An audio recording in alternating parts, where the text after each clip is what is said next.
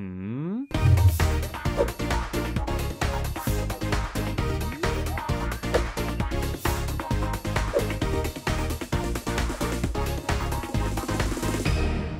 Kanał do Diabła z grami wspierany jest przez sklep Perfect Blue www.perfectblue.pl Padaj na mój Patronite i wesprzyj moją twórczość. Witam mega serdecznie wszystkich moich gości, a to są konsolowe wiadomości, czyli cotygodniowy przegląd newsów ze świata gier wideo. Moi drodzy, zaczynajmy.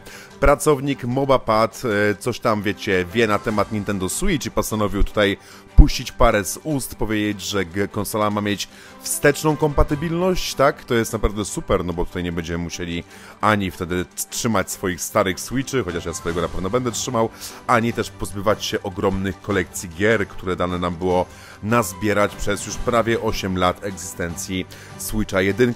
Dodatkowo ma, mają być również kompatybilne z nowym Switchem e, stare Joy-Cony oraz e, Pro Pad, ale e, nowych Joy-Conów nie będzie można zaczepić do nowego Switcha, ponieważ ich konstrukcja będzie troszeczkę inna. No słuchajcie, jest to bardzo ciekawe, ja z reguły staram się raczej nie gadać o tych plotkach na temat, na temat Nintendo Switch 2, no ale teraz wiecie, wszyscy o, nie, wszyscy o tym gadają, więc co mam być gorszy, nie?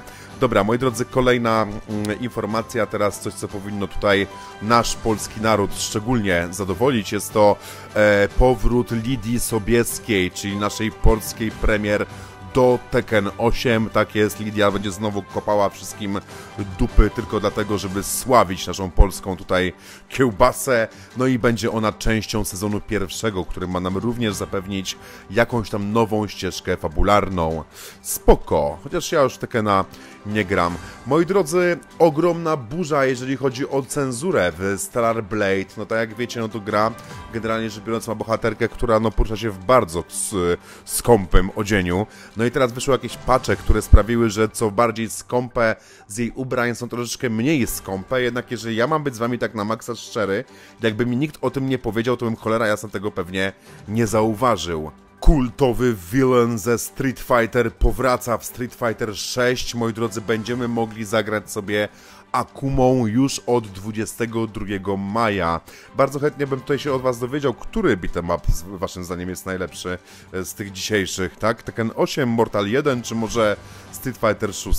Street Fighter to jedyny, w którego nie grałem, a pozostałe dwa, no pograłem i rzuciłem w kąt, z czego troszeczkę więcej pograłem w Mortala. Nasz wspaniały Todd Howard wygadał się, że DLC do Starfield, duże fabularne DLC do Starfield, ma ukazać się już, e, moi drodzy, 15, a nie, bardzo przepraszam, już ma się ukazać pod koniec września, a 15 maja, czyli tak naprawdę już za chwilę do Starfielda zostanie dołączony nowy update, który no wprowadza rzeczy, które powinniśmy mieć tak naprawdę już po premierze, czyli możliwość zmiany trybu graficznego na 60 klatek, ale dla mnie osobiście takim, e, to trochę żałośnie będzie brzmiało, ale takim największym game changerem jest cholera porobienie znaczników na mapach w miastach, tak? Teraz będziemy, moi drodzy, widzieli, gdzie mamy w mieście, nie wiem, Barbera, gdzie mamy bar, a gdzie mamy, kurczę, sklep z ciuchami. No bo ja nie ukrywam, że pamiętam jak dzisiaj, jak się po tej cholernej pierwszej, pierwszym mieście, nie, jak się nazywało, zapomniałem już, e, nie mogłem za cholerę znaleźć jednego sklepu i łaziłem chyba z godzinę szukając tego jak kretyn. No a teraz nie będę musiał, no bo wszystko będę miał tutaj na mapce. Moi drodzy, podczas e, Xbox Partner Showcase, który mieliśmy ostatnią okazję tutaj zobaczyć, e, padła informacja, że Xbox Games Showcase ma być 9 czerwca i najprawdopodobniej zostanie tam zaprezentowana najnowsza część Call of Duty, tak? Więc wszyscy, wszyscy tutaj miłośnicy strzelania w łeb sąsiadowi będą na pewno bardzo szczęśliwi. Shin Megami Tensei 5 Vengeance na nowym zwiastunie. No i powiem wam tak, no kurczę, ja się tą grą na maksa jarałem na Nintendo Switch i nie ukrywam, że raczej tą kolejną wersję, czyli Vengeance, już będę chciał ograć albo na Xboxie, albo na PlayStation, zobaczymy. No i powiem tak, wygląda to świetnie i ukaże się 14 czerwca. Jeżeli ktokolwiek z Was nie grał w Shin Megami Tensei 5, no to bodajże tam w roku 2022, mogę się oczywiście lekko pomylić, była to gra roku na moim kanale.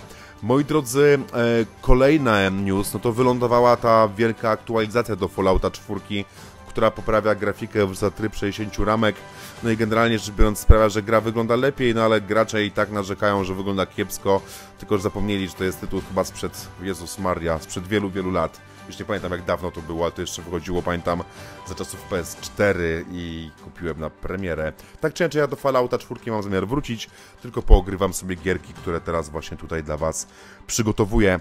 Moi kochani, ostatni, najważniejszy news tego odcinka World of Horror nareszcie doczekał się polskiej wersji językowej mojego autorstwa, tak więc jeżeli chcecie się naprawdę wystraszyć i zobaczyć jak się robi dobre tłumaczenia w Polsce, no to Was serdecznie zapraszam, sama gra jest świetna, no jako, że to tłumaczenie już się w końcu ukazało, no to będę chciał na jakiś tutaj dla Was materiał na ten temat nagrać, tak?